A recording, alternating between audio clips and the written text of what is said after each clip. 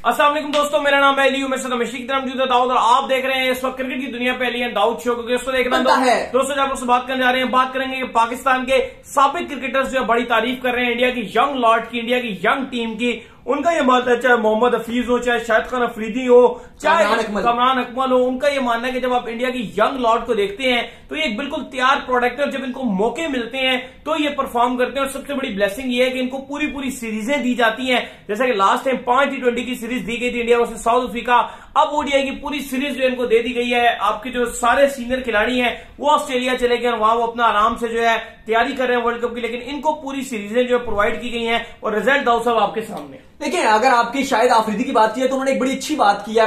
Even आपको याद हो, पिछली बार वो हार्दिक पांड्या के हवाले से जो उन्होंने बात की थी, बड़ा चल रहा था कि उन्होंने कहा था जी कि पाकिस्तान के पास हार्दिक पांड्या टाइप के प्लेयर की बड़ी ज़रूरत है, जो हमारे पास नहीं है, ऐसा ऑलराउंडर तो उसने बड़ा उनको ट्रोल भी किया गया सोशल मीडिया में कहीं ना कहीं, लेकिन देखो अभी आज भी उन्होंने ये बात की वो कहते हैं कि अच्छी बात यह है बीसीसीआई की टीम मैनेजमेंट जो इंडियन टीम मैनेजमेंट है कि वो अपने जो नीचे आने वाले बच्चे हैं उनको प्रॉपर मौका देते हैं। और इसलिए भी जो आज इंडिया की जीत है वो बड़ी जीत है क्योंकि साउथ अफ्रीका की मेन टीम थी। और कहीं ना कहीं जब आपकी जो बेंच स्ट्रेंथ है उसको ज़िम्मेदारी लेनी पड़ती है। देखो ना विराट है ना रोहित है ना राहुल है ना वो पंत वगैरह है कोई भी लॉट नहीं है ना बॉलिंग में वो टीम है।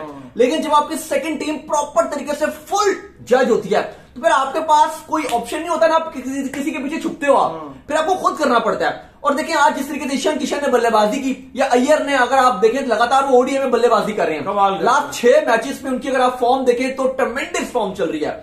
और ईशान किशन की बात करें तो वो तो ऐसा लगता है कि गुस्सा उतार रहे हो जैसे कमरान इकबल ने ये बात की है कि ये ईशान किशन को वर्ल्ड कप के स्क्वाड में इंडिया के होना चाहिए था कहीं ना कहीं जगह बनानी चाहिए थी। क्योंकि ऐसा लग रहा है कि जैसे गुस्सा उतार रहे हैं। टी ट्वेंटी खेलकर। सात छक्के मारे हैं आज। और साउथ अफ्रीका की जो बॉलिंग लाइनअप थी वो कोई मामूली बॉलिंग लाइनअप नहीं थी। रबाडा थे नॉर्जिया नॉर्जिया थे मतलब एक से बढ़कर एक एक से बढ़कर एक बॉलर था फॉर्च्यून थे महाराज थे।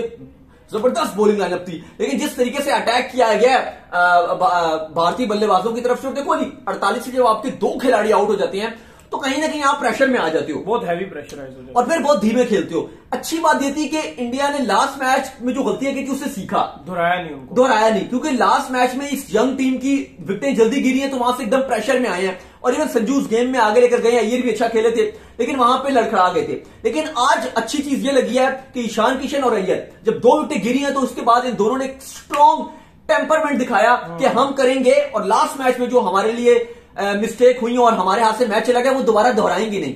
और आप देखेंगे उसके बाद दोनों ने एक रिकॉर्ड पार्टनरशिप बनाई है अड़तालीस पे दो और उसके बाद 200 को भी दोनों क्रॉस लेकर ले, चले गए। और ईशान किशन तो खैर गेम किसी और ही मूड में नज़र आ रहे थे। फिर अगर आप दूसरी तरफ़ बात करें तो आउटस्टैंडिंग बल्लेबाजी देखने को मिली है हमें। अय्यर की तरफ़ से पंद्रह चौके मारे हैं। इवन वर्ल्ड कप में उनके ऊपर थोड़ा सवालिया निशान थे कि यार शॉर्ट पिच पे क्या करेंगे? लेकिन आज इवन शॉर्ट पिच के ऊपर भी अटैक किया गया। बाउंसर्स भी मारे गए उनको उनको। लेकिन उन्होंने बहुत कमाल बैटिंग की अली नहीं बहुत कमाल बैटिंग की है जितनी तारीफ़ की जाए ये अय्यर की जाए वो आज कम है।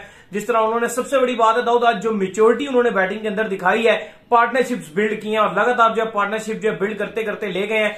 ईशन किशन ने उनका साथ बड़ा खूबसूरती से निभाया। ईशन किशन ओडीआई खेल रहे थे टी ट्वेंटी खेल रहे थे। नहीं ये तो वही बात है कमरान इकबाल वाली की शायद वो गुस्सा उतार रहे थे आज। अच्छा नहीं हफीज ने एक बड़ी अच्छी बात की और वो कहते हैं कि जो इंडियन टीम है इसमें आपको खैर अभी हमेशा से कोई बात करते हैं और अभी भी वो बात वही कर रहे थे कि आपको एक अच्छी बात ये लगती है कि इंडियन टीम में कि जब आप एक एक प्रोडक्ट को जब आप लेकर आते हो यानी कि इंडियन टीम एक प्लेयर को ऐसा प्रोडक्ट बनाकर लेकर आता है। वो एक प्रोडक्ट बनाकर लाता है। ये नहीं होता कि बस एक आध मैच में चांस दिया उसके बाद फारिग करा दिया। वो और देखो और ये भी गलत है कि एक जो प्लेयर डिजर्व ही नहीं करता। हमारे यहाँ ऐसे बड़ा होता है कि यार उस पर आप इतना चांस दे रहे हो लाइक खुश शाह की बड़ी बातें हो रही हैं कि आप उसको चांस दिए जा रहे हो। एक तो पहले आपको ये चूज़ करना पड़ता है कि आपकी आई होनी पड़ती है। जैसे धोनी की आईज थी। कि यार ये प्लेयर है ये विराट है ये रोहित है ये करके देंगे। मैं इनको बैक करूँगा। वो वाली आई की बात हो रही है तो अच्छी बात यह कि एक बार ये आय रख ली इन्होंने कि यार ये करके देगा और फिर चांस देना। एग्ज़ाम्पल उन्होंने दी शुभमन गिल की।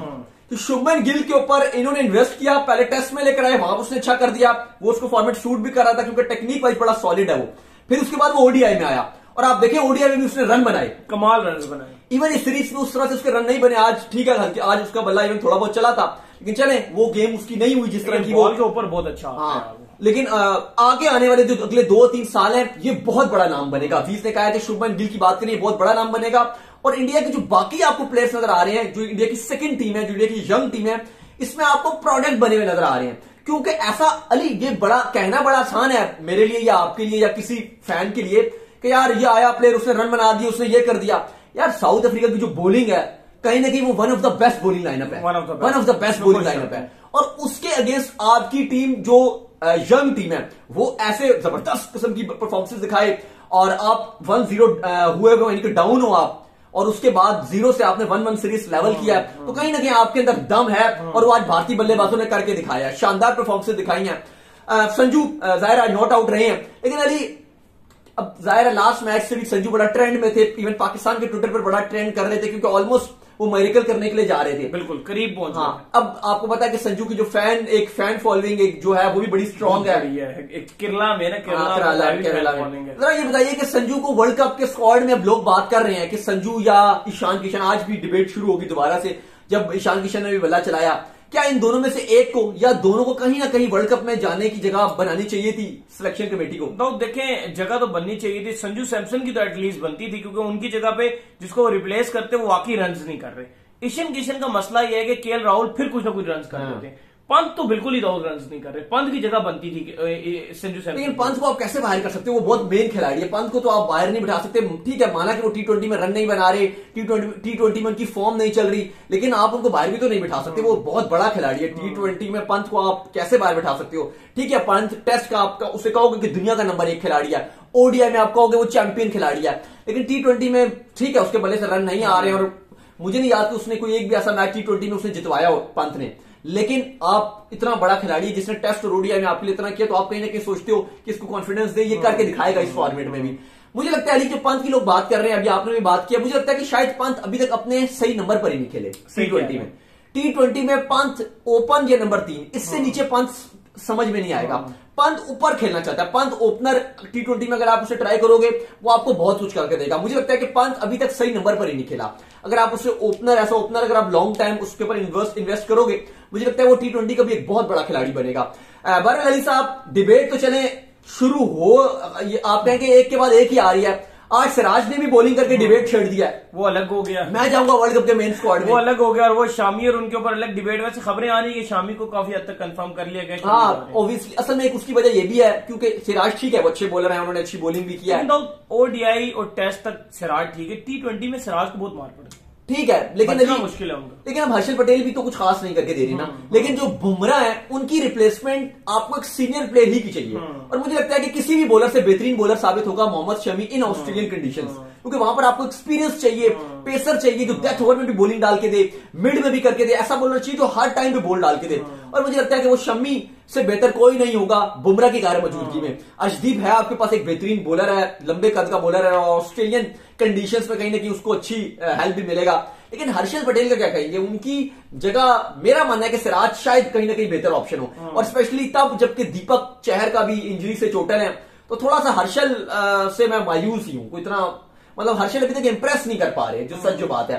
वो ठीक है उन्होंने पीछे आईपीएल में किया था पिछले से पिछले इस बार आईपीएल में क्या किया? इस बार तो आईपीएल में भी मार पड़ी है। लिटरली हर्षल का कोई खास जो है वो रोल नज़र नहीं आता क्योंकि हर्षल को इतनी मार पड़ती है इतनी मार उसके गेम खराब खराब कर देते हैं। बना बनाया मैच बना बनाया मैच ही गेम से हाथ से एक सेंसिटिव गेम है। हाँ। बहुत सेंसिटिव गेम है उसमें जहाँ आपके दो ओवर ऊपर नीचे हुए हाँ। आपको पूरा मैच चला जाता है। हाँ। और हर्षल एक ऐसा बॉलर है चाहे वो अपने अच्छे दिन पे आपको तीन विकेट्स भी ले दे लेकिन ज़्यादातर उसके बुरे दिन हाँ वो ज़्यादातर बुरे दिन चल रहे हैं और 2022 तो उसका मोस्ट इंडियन बॉलर है 40 प्लस रन खाने वाला।